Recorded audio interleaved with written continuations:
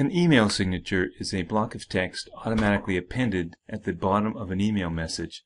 It's common practice for a signature block to consist of one or more lines containing some brief information on the author of the message.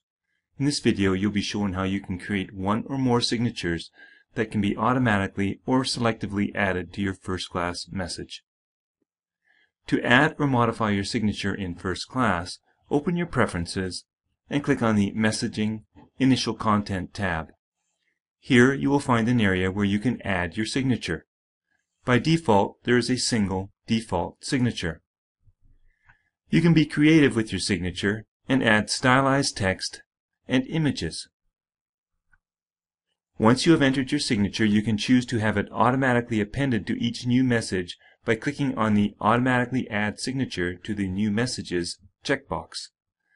Now, when you initiate or reply to a message, the signature block is automatically appended. You can have more than one signature, and you can choose which one you want to append to each new message or reply.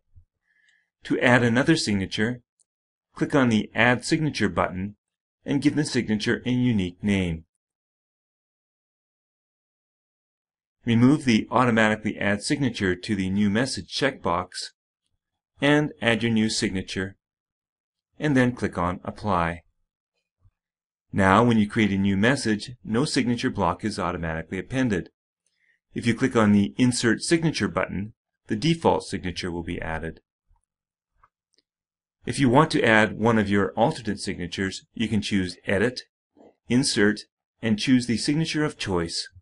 Or you can right-click on the message and choose the signature from the selection list.